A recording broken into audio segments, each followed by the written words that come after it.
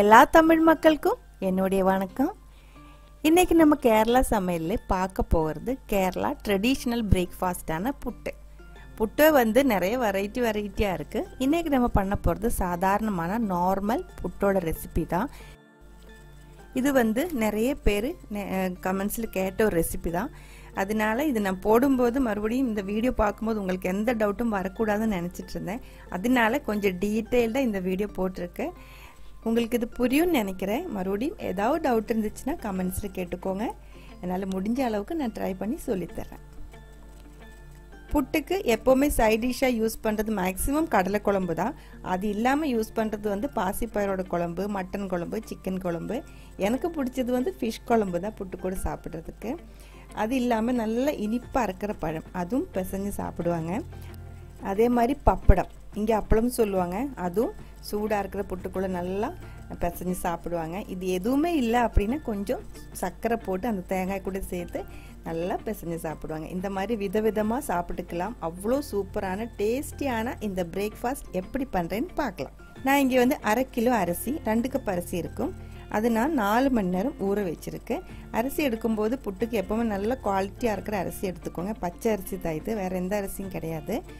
இது வந்து நல்லா ஊற வைக்கணும். இந்த அரிசி வந்து குவாலிட்டி வித்தியாசமாக இருந்தால் புட்டு வந்து கல் மாதிரி இருக்கும். அதனால் கொஞ்சம் நல்ல குவாலிட்டியாக இருக்கிற அரிசி பார்த்து எடுத்துக்கோங்க. இது இப்போ வடிகட்டி எடுத்துக்கலாம்.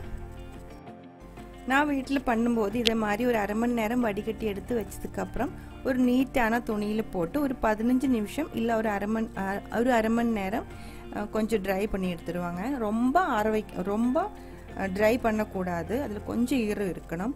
இல்லை உங்களுக்கு டைம் இருந்தால் நீங்கள் மத்தியானமே வடிகட்டி எடுத்து வச்சுக்கோங்க. ஒரு ரெண்டு மணி நேரம் ஒரு மூணு மணி நேரம் அப்படியே இருக்கும்போது ஃபுல்லாக தண்ணி போயிடும். ஒரு அளவுக்கு அது காஞ்சிருக்கும். அது போதும். இந்த மாதிரி துணியில் மறுபடியும் காய வைக்க வேண்டிய அவசியம் இல்லை. அப்படியே கிரைண்ட் பண்ணி எடுத்துக்கலாம். இப்போ வந்து நான் அரை மணி நேரம் வடிகட்டி எடுத்து வச்சதுக்கு அப்புறம் ஒரு பதினஞ்சு நிமிஷம் இருபது நிமிஷம் இந்த மாதிரி கொஞ்சம் காயறதுக்கு விட்டுருக்கு. இப்போ பாருங்க. இப்போவும் அது ஈரமாக தான் இருக்குது பார்த்தாலே தெரியுது. கொஞ்சம் தண்ணி தெரியுது அதில். போதும். இப்போ இதை நம்ம அரைச்சி எடுத்துக்கலாம். அதுக்கு முன்னாடி இந்த ஜெல்லடை வந்து எப்படி செலக்ட் பண்ணுறேன்னு நான் சொல்லி கொடுக்குறேன். இதில் வந்து நாலு டைப் சீவ் இருக்குது ஒன்று வந்து ரொம்ப பெருசாக இருக்குது அது எதுக்கு யூஸ் பண்ணுறேன்னு எனக்கு தெரியல. பாருங்கள் அது நம்ம இப்போ யூஸே இப்போ நமக்கு அது யூஸ் இல்லை அதை மாற்றி வச்சுக்கலாம். இன்னொன்று வந்து இதோட கொஞ்சம் சின்னதாக இருக்குது இருந்தாலும் அதுவும் பெருசாக இருக்குது அதுவும் நம்ம தேவையில்லை. அதுவும் இப்போ நம்ம மாற்றி வச்சுக்கலாம். மிச்சம் இருக்கிற ரெண்டில் ஒன்று தான் நம்ம இப்போ புட்டுக்காக எடுக்க போகிறோம் இந்த ரெண்டு சீவு தான் எப்போவுமே காமனாக இருக்கும். இதில் ஒன்று வந்து பாருங்கள் ரவா சைஸில் இருக்குது இதில் நம்ம ரவா சலிச்சா அது கீழே விழுந்துடும் அந்த சைஸில் இருக்கிறத நம்ம புட்டுக்காக எடுக்க போகிறேன் இதில் செழிச்சா என்ன ஆகும் அப்படின்னா ரவா மாதிரி இருக்கிற கொஞ்சம் ரவா சைஸில் இருக்கிற அந்த அரிசி மாவும் கீழே விழுந்துடும் அதே மாதிரி ரொம்ப நைஸாக இருக்கிற கொஞ்சம் அரிசி மாவும் கலந்து கீழே விழுந்துடும் புட்டோட ஃப்ளோர் எப்போவுமே அப்படி தான் இருக்கும். ரெண்டும் கலந்து இருக்கும். கொஞ்சம் துருதுருன்னு இருக்கும். அதே மாதிரி கொஞ்சம் நைஸாக இருக்கும். இப்போ நம்ம வந்து புட்டுக்கான சீவ் ரெடி பண்ணியிருக்கு. இப்போ இதை மாற்றி வச்சுக்கலாம். இன்னொன்று வந்து இதே மாதிரி நெருக்கமாக இருக்கும். இது நம்ம எதுக்கு எடுக்கிறோன்னா அப்பத்துக்கு தான் எடுக்கிறாங்க. இது வந்து இந்த அச்சு முறுக்கு பண்ணுறதுக்கு அப்புறம் இடியப்பம் பண்ணுறதுக்கு ஆப்பம் பண்ணுறதுக்கு எல்லாம் தான் இந்த நெருக்கமாக இருக்கிறத எடுக்கிறாங்க. அது இப்போ நம்ம யூஸ் பண்ணல அது மாற்றி வச்சுக்கலாம். இப்போ அரிசி வந்து பாதி பாதி போட்டு மிக்சியில் அரைச்சி எடுத்துக்கலாம். அரைக்கும்போது பார்த்துக்கோங்க முதல்ல ஒரு அஞ்சு செகண்ட் வந்து மிக்சி ஆன் பண்ணிடுங்க. அதுக்கப்புறம் ஆஃப் பண்ணி அப்போ அந்த சைடில் ஒட்டி இருக்கிற அரிசி ஒரு டைம் தட்டி விட்டு மறுபடியும் ஒரு அஞ்சு செகண்ட் வந்து அரைச்சி எடுத்துக்கோங்க. ரொம்ப அதிக நேரம் அரைக்கக்கூடாது. அப்படி ரொம்ப நேரம் அரைச்சா என்ன ஆகும் அப்படின்னா இந்த பவுடர் வந்து ரொம்ப ஃபைனாக போயிடும். ரொம்ப நைஸாக போயிடும். அந்த மாதிரி ஆகக்கூடாது. இது இப்போ பார்த்தாலே தெரியுது. கொஞ்சம் பெரிய ரவர் சைஸ் மாதிரி அந்த அரிசியோட பீஸும் விழுந்துட்டு இருக்கு. நமக்கு இந்த புட்டோட மாவு இப்படி தான் வேணும். அதே மாதிரி இந்த புட்டு மாவு வந்து கொஞ்சம் ஈரமாக தான் இருக்குது ரொம்ப காயக்கூடாது. நல்லா காஞ்சதுக்கப்புறம் அரிசி வந்து கிரைண்ட் பண்ணால் நம்ம மாவு வந்து காஞ்சி போயிடும். ஃப்ரை பண்ணும்போது கரெக்டு கன்சிஸ்டன்சியில் கிடைக்காது. இப்போ தொட்டு பார்த்தாலே தெரியுது. நல்ல குளிராக இருக்குது நல்ல ஈரமாக இருக்குது அந்த மாவு. இப்படி தான் வேணும். மிச்சம் இருக்கிறது வந்து மிக்சியில் போட்டு மிச்சம் இருக்கிற பாதி தான் அரிசி அரைச்சிருக்கு. மிச்சம் இருக்கிற பாதி அரிசியும் போட்டு இன்னொரு டைம் இதே மாதிரி பத்து செகண்ட் அரைச்சி எடுத்துக்கலாம்.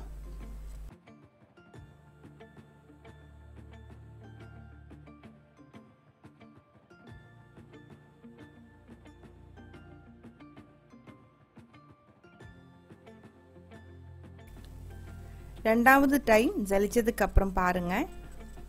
இந்த அளவுக்கு பெருசா இருக்கு மிச்சம் வந்து அந்த ரைஸோட கிரிட்ஸ் எல்லாம். இது பாருங்க இது வந்து கொஞ்சம் பெருசா இருக்கு ரவாவோட சைஸ்ல இருந்து இன்னும் கொஞ்சம் பெருசா இருக்கு. இது வந்து அரிசியில் போட வேண்டாம். இது நம்ம மாத்திடலாம் மாவு வந்து ரெடியா இருக்கு. இது வந்து ஃப்ரை பண்றதுக்கு ரெடியா இருக்கு ரோஸ்ட் பண்றதுக்கு ரெடியா இருக்கு. நல்ல இருமா இருக்கு நல்ல குளிரா இருக்கு. அந்த மாதிரி தான் இருக்கணும். இப்போ வந்து இது ஃப்ரை பண்ணுறதுக்கு நல்லா திக்கான ஒரு கடாய் எடுத்துக்கோங்க. இல்லை உங்ககிட்ட உருளி இருந்தால் நீங்கள் உருளி எடுத்துக்கோங்க. உருளி தான் பெஸ்ட்டாக இருக்கும். அடி பிடிக்காது. கரெக்டாக இருக்கும் அந்த ஹீட்டு இப்போ எங்கிட்ட உருளி இல்லை. அதனால நான் வந்து நல்லா திக்கான ஒரு கடாய் எடுத்திருக்கேன் இதில் வந்து மீடியம் ஃப்ளேமில் வச்சுக்கோங்க முதல்ல. ஒரு பத்து நிமிஷம் மீடியம் ஃப்ளேமில் வச்சுக்கோங்க. இது ஃப்ரை ஆகிறதுக்கு ஒரு பதினஞ்சு டு இருபது நிமிஷம் ஆகும். முதல்ல பத்து நிமிஷம் மீடியம் ஃப்ளேமில் வச்சுட்டு நல்லா ஃப்ரை பண்ணிக்கோங்க. கிண்டி விட்டுட்டே இருங்க நிறுத்தாதீங்க. முதல்ல மாவு வந்து ஈரமாக இருக்கிறதுனால கொஞ்சம் திக்காக இருக்கும். போக போக அந்த மாவு வந்து ஹீட் ஆகி அதுக்குள்ளே நல்லா ஆவி வர ஆரம்பிச்சிடும் அந்த ஆவியில் அந்த மாவு நல்லா வேகணும். ஆவி நல்லா வரணும் அப்படின்னா மாவு கொஞ்சம் நல்லா ஈரமாக தான் இருக்கணும். அதுக்கப்புறம் அந்த ஹீட்டில் இது மாவு ஃப்ரை ஆகிடும் நல்லா வெந்ததுக்கப்புறம் ஃப்ரை ஆகி வரும்போது நல்ல மணமாக இருக்கும். இப்போ வந்து ஒரு பத்து நிமிஷம் ஆயிடுச்சு. பாருங்க மாவு கொஞ்சம் லூஸாக வந்துட்டுருக்கு. அந்த திக்னஸ் எல்லாம் போயிடுச்சு. ஃப்ரை ஆக ஆரம்பிச்சிருக்கு.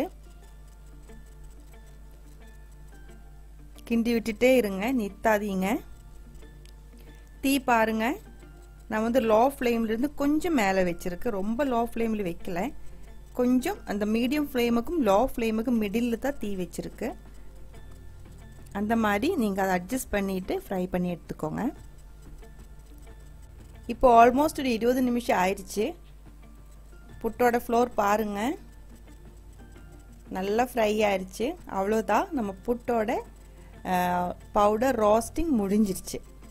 இனி என்ன பண்ணணும் அப்படின்னா இது நல்லா ஆற வைக்கணும். ஆற வைக்கும்போது முக்கியமான ஒரு விஷயம் என்னென்னா இது நம்ம ஆற வைக்கும்போது இப்போ நல்லா ஆறிடுச்சுன்னா கூட உடனே புட்டு பண்ணக்கூடாது. புட்டு நல்லா வராது. கல் மாதிரி ஆகி போயிடும். நான் எப்போவுமே வீட்டில் எப்படி பண்ணுறேன்னா நைட்டு வந்து புட்டு ஃப்ளோர் நல்லா இந்த மாதிரி ஃப்ரை பண்ணி எடுத்து வச்சுருவாங்க. அடுத்த நாள் காலையில் வந்து புட்டு பண்ணி எடுத்துருவாங்க. இந்த அந்த மாதிரி பண்ணால் தான் ஒரு நாள் விட்டு பண்ணால் தான் இந்த புட்டு நல்லா வரும். அந்த ஒரு பாயிண்ட் நீங்கள் கொஞ்சம் மைண்டில் வச்சுக்கோங்க. முடிஞ்ச அளவுக்கு அடுத்த நாளைக்கு இந்த பவுடர் எடுக்கிறதுக்கு பார்த்துக்கோங்க அதே மாதிரி தான் இப்போ இப்போ நான் பண்ணுறேன் நைட்டு தான் அது வந்து ஃப்ரை பண்ணியிருந்தாங்க. இப்போ கால் இப்போ அடுத்த நாள் காலையில் ஆயிடுச்சு. இப்போ நம்ம இது வந்து புட்டு பண்ண போகிறாங்க புட்டு பண்ணுறதுக்கு முன்னாடி அதே ஜல்லடையில் அதே சீவில் அந்த ரவா சைஸ் சீவில் இன்னும் ஒரு டைம் இது ஜலிச்சு எடுத்துக்கலாம்.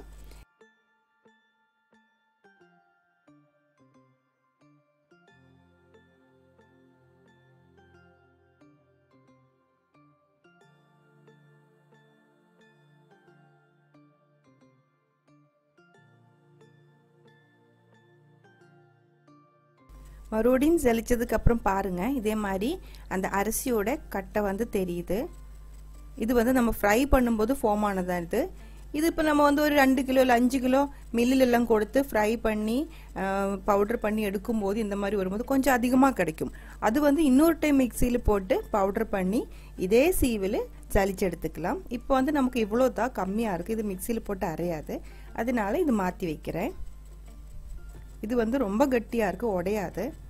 அதனால தான் இது கொஞ்சம் அதிகமாக கிடச்சிருந்தா நம்ம மிக்சியில் போட்டு அரைச்சி எடுத்துக்கலாம்.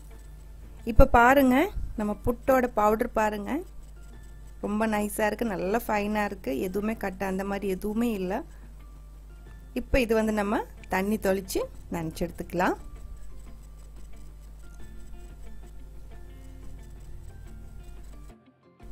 இப்போ வந்து இதில் முதல்ல உப்பு போட்டு கொடுக்கணும். எப்போவுமே நம்ம ரெகுலராக பண்ணும்போது கையில் போட்டு போட்டு அது பழக்கம் ஆயிடுச்சு இருந்தாலும் ஒரு ஹாஃப் டீஸ்பூன் ஹாஃப் டீஸ்பூன் உப்பு நான் இதில் போட்டு கொடுக்குறேன். ஒரு அரை கிலோ அரிசிக்கு ஒரு ஹாஃப் டீ டீஸ்பூன் போதும். நீங்கள் இது நினச்சதுக்கப்புறம் ஒரு டைம் எடுத்து வாயில் போட்டு டேஸ்ட் பண்ணி பாருங்கள் உப்பு கரெக்டாக இருக்கா இல்லையான்னு. உப் நம்ம அப்பத்துக்கு இல்லை தோசைக்கெல்லாம் போடுறதோட இன்னும் கொஞ்சம் அதிகமாக தான் உப்பு நம்ம புட்டுக்கு போடணும். தண்ணி தெளித்து கொடுக்கும்போது பார்த்துக்கோங்க கையில் போட்டு கையினால தான் மெதுவாக தண்ணி மேலே தொளிச்சு கொடுக்கணும். இப்போ ரெண்டு கப் அரிசி எடுத்திருக்கு. அரை கிலோ அரிசிக்கு நான் வந்து டூ ஃபிஃப்டி எம்எல் இரநூத்தி ஐம்பது எம்எல் தண்ணி ஃபுல்லாக நான் ஊற்றிருக்கு ஊற்றலை ஊற்ற போகிறாங்க நான் எடுத்து வச்சுருக்கு. இப்போ வந்து அதிலிருந்து அந்த தண்ணியிலிருந்து கொஞ்சம் கொஞ்சமாக தொளிச்சு கொடுத்து நம்ம இதை மிக்ஸ் பண்ணி எடுத்துக்கலாம்.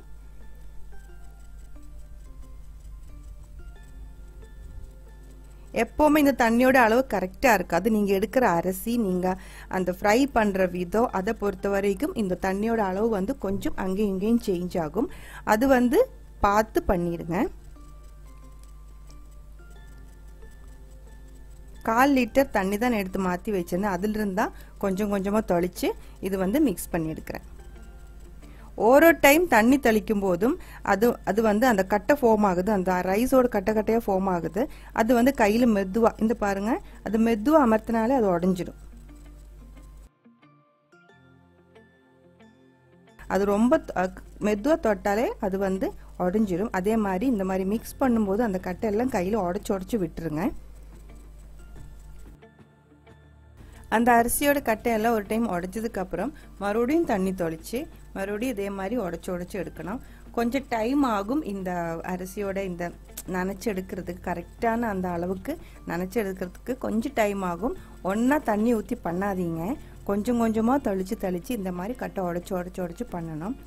ஏன்னா நம்ம அதுக்குள்ள ரைஸ் கிரிட்ஸ் இருக்குது அந்த ரவை மாதிரி இருக்குது அதே மாதிரி இந்த பவுடர் வந்து நல்லா ஃப்ரை ஆனதான் இது தண்ணி தொளிக்கும் போது கொஞ்சம் அந்த பவுடர் வந்து ஊறிட்டே இருக்கும்.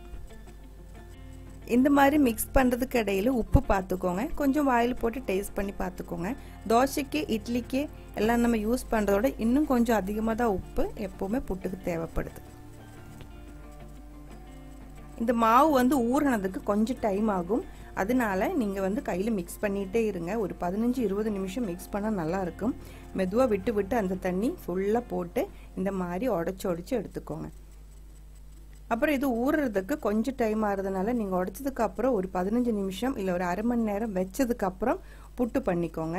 இல்லை உங்களால் இது வந்து கையில் உடைக்கிறது கஷ்டமாக இருக்குது அப்படின்னா இன்னொரு ஐடியா சொல்கிறேன் அந்த நம்ம கிரைண்ட் பண்ணுறதுக்கு எடுத்து அதே மிக்ஸி எடுத்துக்கோங்க. இந்த மாவு வந்து கட்டையோடு சேர்த்து கொஞ்சம் அதுக்குள்ளே போட்டுக்கோங்க. ரொம்ப அதிகமாக போட வேண்டாம்.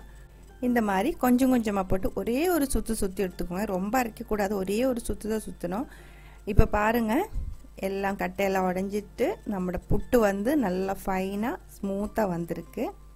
இதே மாதிரி கூட பண்ணி எடுத்துக்கலாம். ஆனால் இப்படி பண்ணும்போது நீங்கள் வந்து நல்லா அந்த பவுடர் வந்து ஊறினதுக்கு அப்புறம் தான் பண்ணோம் முதல்ல தண்ணி ஊற்றி இப்படி பண்ணி எடுத்துருச்சுன்னா அது வந்து அந்த மாவு வந்து ட்ரை ஆகி போயிடும். அது இருக்கிற தண்ணி எல்லாம் அதுக்குள்ளே ஊறி மறுபடியும் அந்த மாவு வந்து ரொம்ப ட்ரை ஆகி போயிடும். அதனால முதல்ல ஒரு அரை மணி நேரம் இல்லை ஒரு இருபது நிமிஷமாவது இந்த மாதிரி தண்ணி தொளிச்சு தொளிச்சு விட்டு விட்டு நல்லா மிக்ஸ் பண்ணதுக்கு அப்புறம் மாவு ஊறினதுக்கு பிறகு தான் நீங்கள் மிக்சியில் போட்டு இந்த மாதிரி கிரைண்ட் பண்ணி எடுக்கணும். சாரி சுத்து ஒரு சுற்றி சுற்றி எடுக்கணும். இப்போ இதோட மாவு ரெடி ஆயிடுச்சு. ஒரு கரெக்டான கன்சிஸ்டன்சி எப்படின்னு பாருங்கள் கையில் வந்து இந்த மாதிரி ஒரு உருளையாக அந்த மாதிரி கட்டியாக ப்ரெஸ் பண்ணால் அது உருளையாக ரவுண்டாக ஃபார்ம் ஆகும். பால் மாதிரி ஃபார்ம் ஆகும். உடனே விட்டதுக்கப்புறம் மெதுவாக உடச்சி விட்டால் அது வந்து புட்டு போடுற மாதிரியே வந்துடும் இதுதான் அந்த புட்டோட கன்சிஸ்டன்சி கரெக்டாக ஆயிடுச்சுன்னு நம்ம செக் பண்ணுறது இந்த மாதிரி ஒரு டைம் பண்ணிக்கோங்க. இப்போ வந்து புட்டு பவுடர் ரெடியாக இருக்குது இது வந்து இப்போ நம்ம புட்டு பண்ணிடலாம். நான் பண்ணுறது புட்டு கூட இல்லை என்கிட்ட. அதனால நான் வந்து குக்கருக்கு மேலே அந்த நோபல் வச்சு தான் அந்த புட்டு குச்சி வச்சு பண்ண போகிறாங்க முதல்ல வந்து அந்த சில்லு போட்டதுக்கப்புறம் கொஞ்சம் தேங்காய் போட்டுக்கலாம். தேங்காய் போட்டதுக்கு பிறகு நம்ம அந்த மாவு கொஞ்சம் கொஞ்சமாக ஃபில் பண்ணி கொடுத்துடலாம். அந்த நான் வந்து ரெண்டு பீஸாக தான் இப்போ கட் பண்ணி எடுக்கிறேன் அதுக்கப்புறம் ஒரு மூணு பீஸாக கூட கட் பண்ணி காமிக்கிறேன். இப்போ வந்து உங்கள் இஷ்டம். இது அதோட புட்டோட சைஸ் வந்து எந்த அளவுக்கு வேணும்? பெருசாக வேணால் நீங்கள் கீழே மட்டும் தேங்காய் போட்டுட்டு அந்த மாவு ஃபுல்லாக நரைச்சதுக்கப்புறம் ஒரே ஒரு குட்டியாக எடுத்துக்கலாம். அது உங்கள் இஷ்டத்துக்கு தகுந்த மாதிரி நீங்கள் அது கட் பண்ணிக்கோங்க. தேங்காய் போட்டு கட் பண்ணிவிடுங்க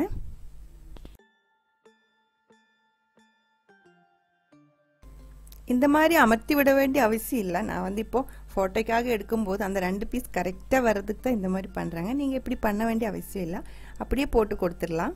அப்போ நல்லா சாஃப்டாக கிடைக்கும். நல்லா அமர்த்தி விட்டால் ரொம்ப இன்னும் கொஞ்சம் கட்டியாகிறதுக்கு சான்ஸ் இருக்குது அதனால அமர்த்தி விட வேண்டிய அவசியம் இல்லை.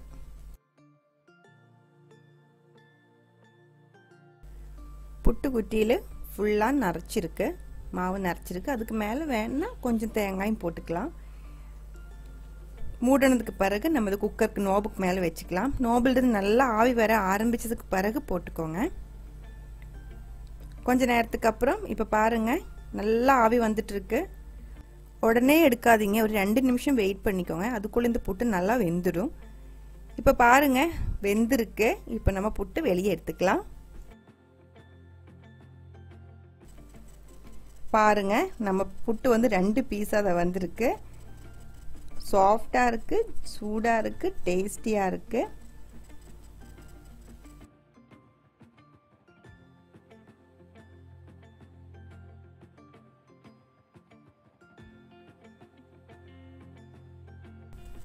இப்போ வந்து உங்ககிட்ட இந்த புட்டோட குச்சி இல்லை அப்படின்னா அது கிடைக்காதவங்க இருப்பாங்க. அப்படின்னா சங்கடப்பட வேண்டாம். அதுக்கு வந்து சிரட்டை இருக்குது இந்த நம்ம வீட்டில் யூஸ் பண்ணுற சிரட்டை இருக்குது இல்லைங்களா? அதோட அந்த பெரிய கண்ணு வந்து கொஞ்சம் கத்தி வச்சு பெருசு பண்ணிக்கோங்க. அது வந்து குக்கரோட அந்த நோபு இருக்கு இல்லைங்களா? அது உள்ளே போகிறதுக்கு மட்டும் ஒரு ஆட்டோ விட்டுருங்க. அதுக்கப்புறம் கீழே வந்து இதே மாதிரி கொஞ்சம் தேங்காய் போட்டுருங்க. தேங்காய் போட்டதுக்கப்புறம் நம்ம மாவு வந்து குட்டியில் நரைச்சி கொடுத்துருக்கு இல்லைங்களா? அதே மாதிரி இந்த மாவு வந்து சிரட்டைக்குள்ளேயும் போட்டுக்கலாம். இது வந்து இன்னும் கொஞ்சம் ஹெல்த்தியாக இருக்கும். அந்த சிரட்டைக்குள்ளே போடுறதுனால.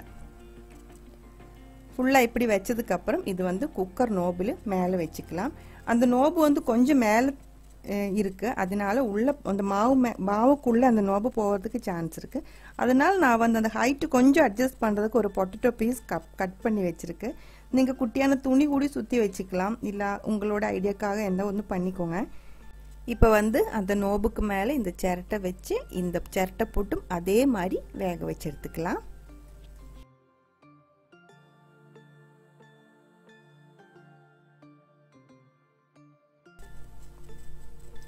இதுவும் அதே மாதிரி ஆவி வந்ததுக்கு அப்புறம் ஒரு ரெண்டு மூணு நிமிஷம் வெயிட் பண்ணிடுங்க.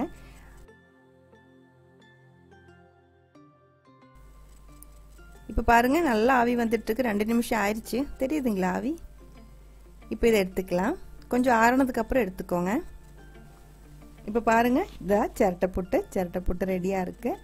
இதுக்கு சைட் டிஷ்ஷாக நான் பண்ணி வச்சுருக்கிறது வந்து கடலை குழம்பு தான்.